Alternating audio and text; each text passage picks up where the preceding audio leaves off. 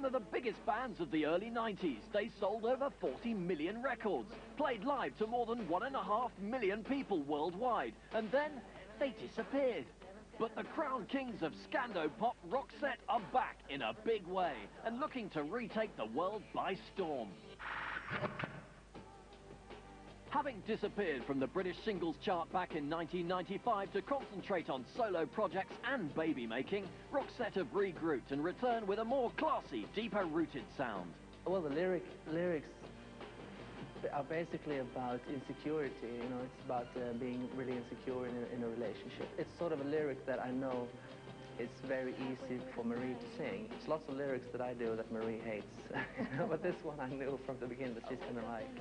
The video to Wish I Could Fly had to be re-edited after being considered too rude for British viewers. Unsurprisingly, it was shot by controversial Swedish director Jonas Åkerlund, the man behind that infamous Prodigy video. It's a typical Jonas video. He, he, he doesn't think that's very controversial. He just thinks it's good film, you know. Roxette's new album, Have a Nice Day, is now complete and set for release on the 29th of March. But life in the studio didn't always run smoothly for Per and Marie. It's actually been the most um, complicated recording we've done because it, it's, it's been arguments about basically everything. And um, it was very exciting, but at the same time, it's lots of egos. And in the end of the day, you had to say, this is what we want. And if there's one thing our pair knows, it's how to write a catchy tune. Now, sometimes we get a lot of complaints that all our albums sounds like compilation albums, you know, it's, um, you know, now, now that's what we call Roxette 35. You get this gut feeling that this is a great chorus, or this is a great intro. I mean, if, if I,